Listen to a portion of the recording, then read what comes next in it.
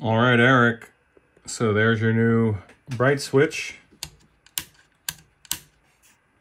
The other one had literally disintegrated. Kind of made me sad. Um, but anyway, the proper one is in place. And if you want a demonstration of... Let's see if I can get a little more noise out of her. Now listen, open chassis. You hear that? So listen to the background noise. Um, this is going to demonstrate how that jack that I wired for you will switch between an external speaker and the internal one. Okay, check this out. I'm going to plug in this little plug here. We're going to we're going to pretend like this is your external speaker load.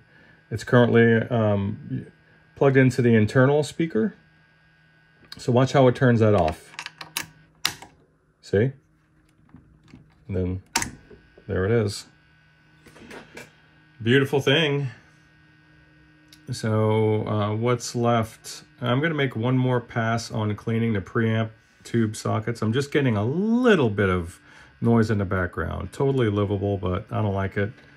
Uh, all the noise you're hearing right now is all due to electrical interference from the bench top here. Watch again. See that? So I'll get that buttoned up. Update you soon. Bye.